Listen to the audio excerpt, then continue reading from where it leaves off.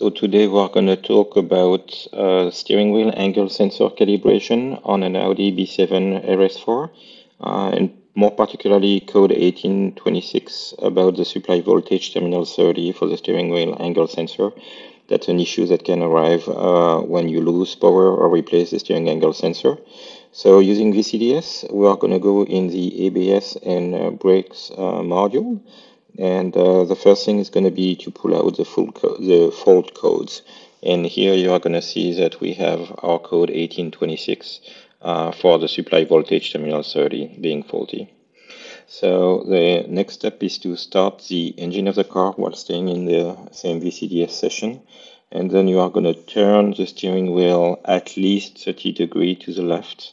It can be more, it doesn't really matter and then uh, come back straight ahead. What matters there is that the steering wheel is really straight because that's where it's going to be calibrated. Um, the procedure calls for going in uh, uh, measuring blocks and uh, uh, going into uh, group number five so that you can see um, the steering wheel angle. And actually, if you try to turn the steering wheel, which I'm doing right now, the angle stays to zero. It doesn't report any value. So uh, you are going to go back and uh, make sure your wheel is still straight. And uh, you are going to go in security access. When you go in uh, security access, um, you are going to enter the code 40168, which is going to give you access to uh, the ABS uh, control module. And then go in basic settings and group 1, press go and you will see that the steering wheel angle, uh, say adjusting steering angle sensor alignment status OK.